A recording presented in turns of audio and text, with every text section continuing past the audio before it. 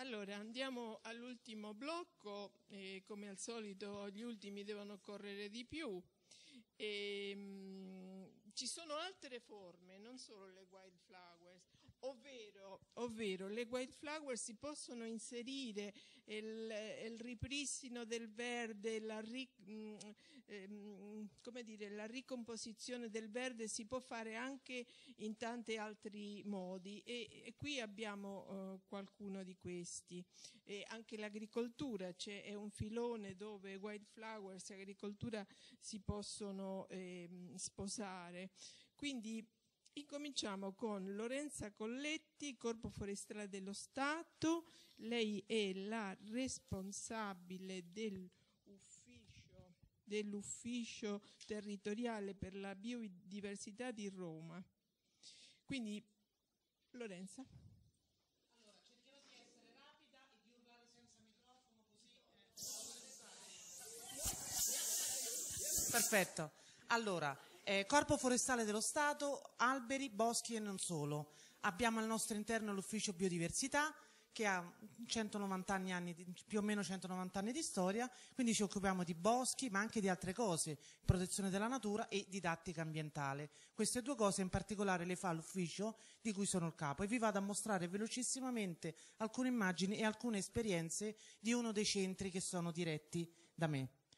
Questa stranissima immagine è uno dei paesaggi più antropici che si possano immaginare, molto particolare, non è una città, sono delle saline, praticamente le uniche del Lazio, sono le saline di Tarquinia. Se c'è un ambiente antropizzato, artificiale, contaminato in mezzo a due centrali elettriche e compagnia bella, è quello. Eppure pensate che questo impianto qui è stato, è stato costruito nel, praticamente inaugurato nel 1805 dallo Stato Pontificio. Si produceva il sale.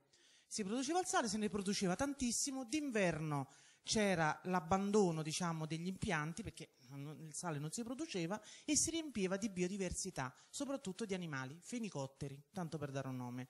Ed era talmente un, un miracolo questo della biodiversità così particolare di questa zona che nel 1980, quando ancora si produceva il sale, è diventato riserva. Quindi questa è una riserva naturale statale gestita dal Corpo Forestale dello Stato, in particolare dal mio ufficio. Un ambiente quindi antropico come pochi. Com'era prima, quando si produceva il sale? Era così. Sfido voi a trovare qualcosa di vegetale, di naturale in questo ambiente lunare. C'erano quattro, dico quattro, pini eucalipti piantati per fare un po' d'ombra a qualcuno, il resto erano delle vasche per la produzione industriale del sale che d'estate venivano asciugate, seccate, raspate proprio quanto di più innaturale per quanto utile, questo faceva il sale per Roma, quindi non c'erano frigoriferi, non c'era niente, era essenziale.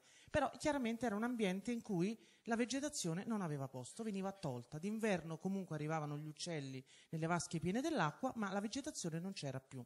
Il Corpo Forestale dello Stato eredita questa riserva e che fa? Comincia a farla tornare indietro. Le vasche, le cose storiche vengono mantenute perché fanno parte del patrimonio di tutti, però soprattutto nelle aree verdi e retrodunali si comincia a ricostituire quello che era l'ambiente che c'era una volta lì.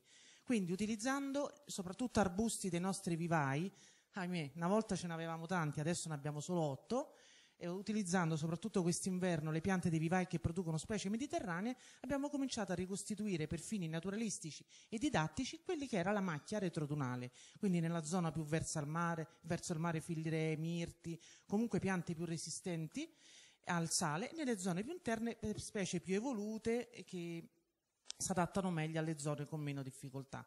La cosa più importante, l'immagine più importante che è esattamente relativa a quello che viene detto nel convegno, qui non c'è perché l'ho scattata due settimane fa, la presentazione è precedente. Questa immagine d'inverno vi fa vedere le piante piantate, bello pulito, prato sistemato e compagnia bella. A maggio è venuto su 75 centimetri di tutto, meraviglioso, bellissimo, fioriture di gladioli, di composite, di margherite, c'era di tutto dentro. Noi avevamo la festa della riserva, che fare, tagliare o non tagliare? Abbiamo fatto esattamente quello che il collega agronomo ha detto prima, in modo intuitivo.